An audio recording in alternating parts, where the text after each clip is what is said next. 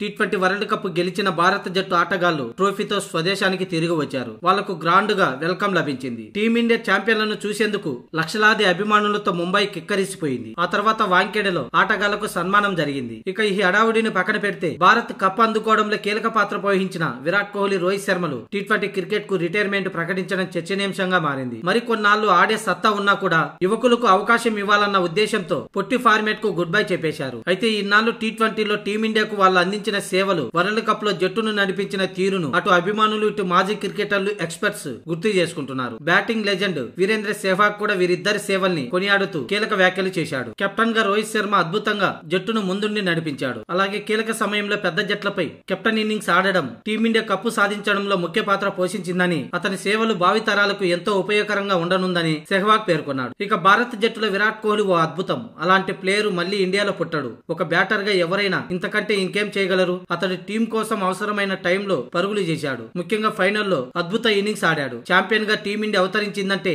Kohli batting కూడా కారణమని సెహ్వాగ్ చెప్పుకొచ్చాడు. అందుకే కోహ్లీకి హ్యాపీ ఫేర్వెల్ లభించింది. కోహ్లీకి నా హ్యాట్సాప్ అంటూ సెహ్వాగ్ అన్నాడు.